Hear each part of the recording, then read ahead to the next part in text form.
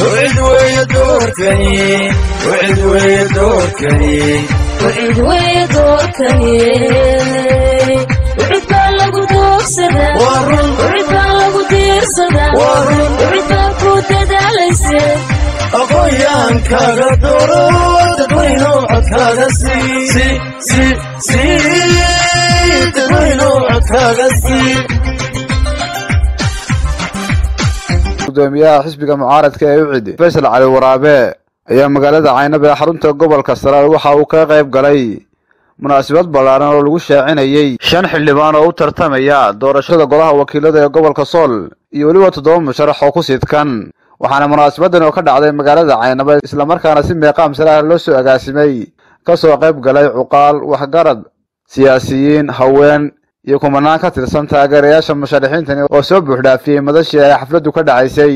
Waxaana ugu horreynba halkaasi ka hadlay cuqaal waxgarad siyaasiyiin waxayna dhammaantoodba sheegeen inay taageero buuxda u hayaan murashaxiintan ay soo xuleen ee golaha baarlamaanka iyo deegaanka.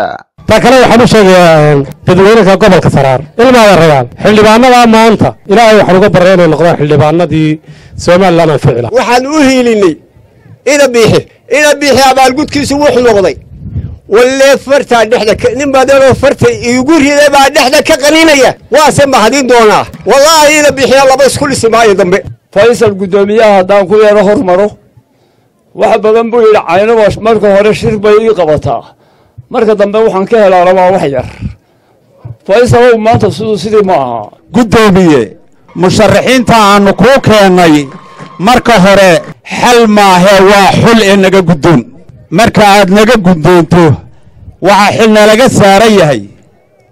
Qabanqaabadooda iyo soo saaristooda iyo garabgalkooda iyo gacansiintooda ilaahayna waannu la tala saaranaynaa. Nin kasta oo maanta eh, xildhibaan reer kasta oo xildhibaan keenay oo ucud keenay wuu doortay. Isaga ucud baanu doorannay. Soo dhowow xisbiga guddoomiyaha xisbiga faysal carwaraabe ku soo dhowow gobolka saraar iyo degmada caynaba waxaa halkan lagu wareejinayaa koob iyo toban xildhibaan oo afarna ay tahay baarlamaan toddobana tahay dowladda hoose.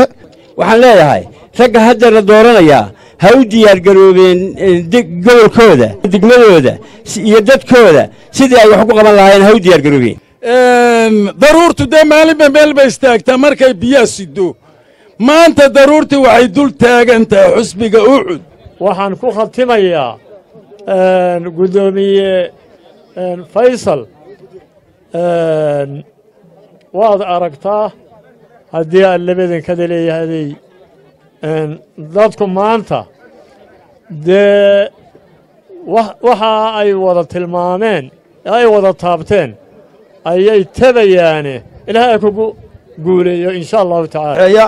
Xafladdan qiimaha badan leh waxaa igu casuumay xildhibaan u sharaxan golaha wakiilada cabdilaahi aadan maxamed dhega libaax ninka la yidhaahdo dhega libaax. Dadka halkan fadhiya ee gobolladani marka hore waxay u badnaan jireen xisbiga la yidhaahdo kulmiyay u badnaan jireen. Maanta waynu aragnaa xisbiyadii mucaaradka ahaa iyo halkay xaaladi mar war xisbiga kulmiya kaaru ahaa. Kaari waa laynaga qabsada waar waynu gubaynaa kulmiye. Sidoo kale waxaa munaasabadaasi ka hadlay murashaxiinta lagu shaacinayey munaasabadani ee u tartamaya doorashada golaha wakiilada ee gobolka sool oo kale ahaa maxamuud xayir ducaale cabdilaahi aadan maxamed faysal salebaan abokor abokor faarax warsame axmed khaliif jaamac saalax iyo weliba xildhibaanada ku sidkan ee u tartamaya golaha deegaanka ee degmada caynaba waxayna bulshada ka codsadeen inay ugu hiiliyaan codkooda. Waxaan leeyahay hambalyo hambalyo hambalyo waxaan si gaara ugu sii mahadnaqay bulshada isoo xushay ee halkan i keentay ee doonaysa inaan uga mid noqdo golaha wakiilada.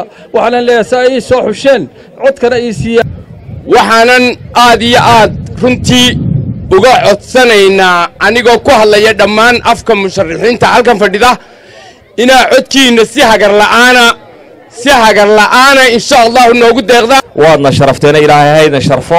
Dulucdu wuxuu noqonaysaa codkana noogu dara.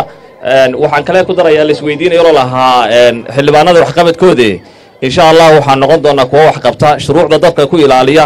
Maadaama xisbiga ucud aanu ka sharaxannahay waxaanu ilaalin doonaa ku shaqayn doonaa siyaasadda xisbiga ucud ee ah in diinta la daryeelo. Marka insha allahu wixii dambana waxaynu ilaalin doonaa oo u codayn doonaa dhammaanteen somalilan oo dhanba xisbiga ucud baynu isku ognahay. Magacaygu waa axmed khaliif jaamac saalax waxaan ahay musharax u taagan inuu tartamo golaha wakiilada kana tartamaya gobolka sool.